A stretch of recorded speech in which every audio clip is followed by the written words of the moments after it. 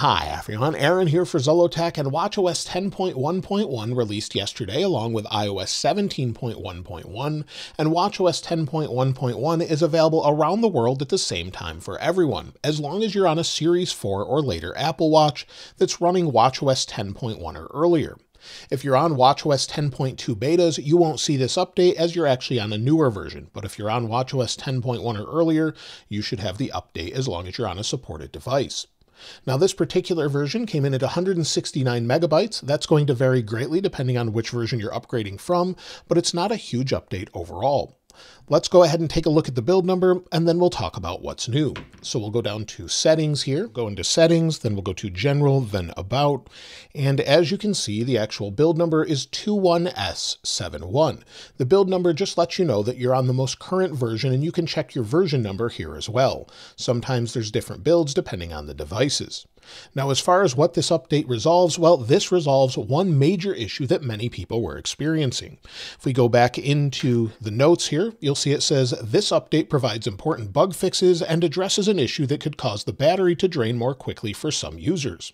Now, we know it fixes the battery update, but we don't know if it fixes anything else. However, that's the major issue most people were having on watchOS 10, or watchOS 10.1 specifically. This seems to resolve it as it seemed to be caused by third-party apps before. So Apple has not said that they've resolved anything else other than the battery bug for the Apple Watch. So that should be resolved on this update, and also it shouldn't really have any other issues, hopefully, as it was pretty stable overall, just in general. As far as security updates, if we go to Apple's security website, on their security website, if we scroll down, you'll see here it says WatchOS 10.1.1. This update has no published CVE entries. That doesn't mean there's a security update, it just means they haven't published anything for it. But it's available for Apple Watch Series 4 and later. So just like iOS 17.1.1, they didn't publish any information about it. Sometimes, though, they will update this in the future once the bugs have actually been sort of out for a little while that they've patched, then they'll update this once in a while. Sometimes they won't as well.